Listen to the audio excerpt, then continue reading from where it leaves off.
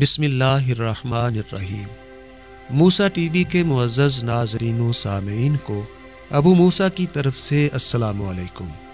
محترم ناظرین، ایک شخص سمندر کے کنارے باغ کر رہا تھا۔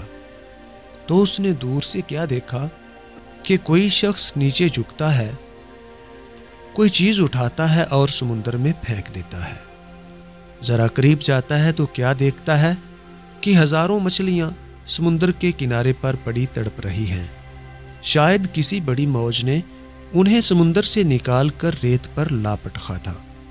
اور وہ شخص ان مچھلیوں کو واپس سمندر میں پھینک کر ان کی جان بچانے کی کوشش کر رہا تھا۔ دیکھنے والے شخص کو اس آدمی کی بے وقوفی پر ہنسی آ گئی اور اس نے ہنستے ہوئے کہا کہ دوست، اس طرح کیا فرق پڑے گا؟ ہزاروں مچھلیاں ہیں تم کتنی مچھلیوں کو بچا پاؤ گے؟ یہ سن کر وہ آدمی نیچے جھکا۔ ایک تڑپتی ہوئی مچھلی کو اٹھایا اور سمندر میں اچھال دیا۔ وہ مچھلی پانی میں جاتے ہی تیزی سے تیرتی ہوئی آگے نکل گئی۔ اور پھر اس نے سکون سے دوسرے شخص سے پوچھا، آپ یہ بتائیں کہ کیا اس مچھلی کو میری کوشش سے کچھ فرق پڑا ہے؟ کیا اس کی تڑپتی روح کو کچھ سکون ملا ہے؟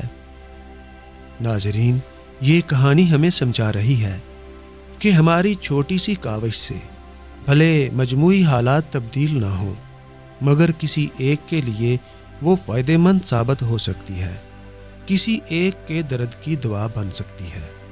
لہٰذا دل بڑا رکھیے اور اپنی طاقت و حیثیت کے مطابق اچھا ہی کرتے رہیں آپ اس فکر میں مبتلا نہ ہوں کہ آپ کی اس چھوٹی سی کوشش سے معاشرے میں کیا تبدیلی آئی ہے یا آ سکے گی؟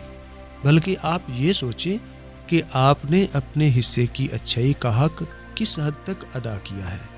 خلق خدا کی مدد کیجیے اگر نہیں کر سکتے تو جو یہ نیکی کا کام کر رہے ہیں، ان پر تنقید نہیں بلکہ حوصلہ افزائی کیجیے جو شخص مدد مانگ رہا ہے، یہ سوچ کر اس کی مدد کر دیں کہ کروڑوں لوگوں میں اللہ تعالیٰ نے آپ کو اس کی مدد کے لیے چنا ہے، جو اس کو آپ کے پاس بھیج دیا ہے۔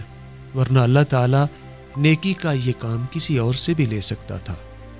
آئیے اپنا اپنا کردار ادا کریں اور نتیجے اللہ تعالیٰ پر چھوڑ دیں۔ محترم ناظرین، امید ہے کہ ہمارا یہ پیغام آپ کو پسند آیا ہوگا۔